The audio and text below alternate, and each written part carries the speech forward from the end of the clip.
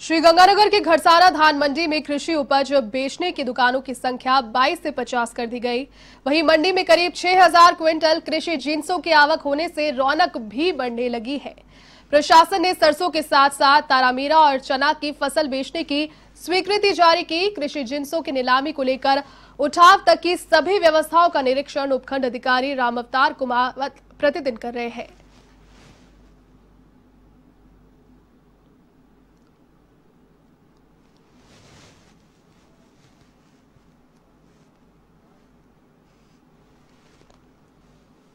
में आज आठवें दिन लगातार कृषि जिनसों की खरीद जो है वो शुरू है।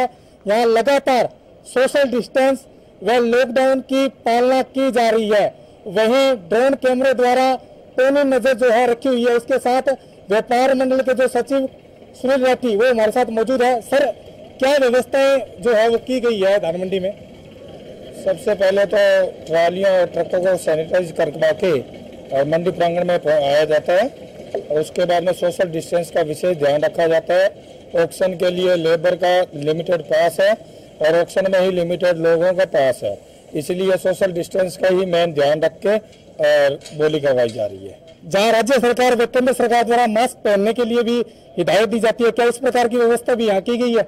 बिल्कुल जी, इसमें कोई दो राय नहीं है। जो राज्य सरकार और केंद्र सरकार द्वारा जो गाइडलाइन बनाई गई है मास्क पहनने की आप कहीं भी धान मंडी में कहीं भी घूम के आप चेक कर लो, सभी के मुँह पे मास्क होंगे, बगैर मास्क की मंडी में एंट्री नहीं है।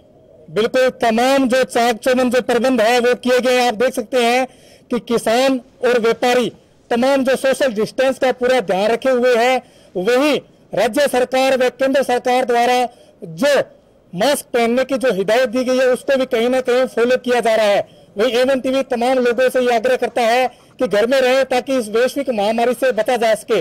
मैं मेरे कैमरामैन धीरज के साथ विकास पारिक एवन टीवी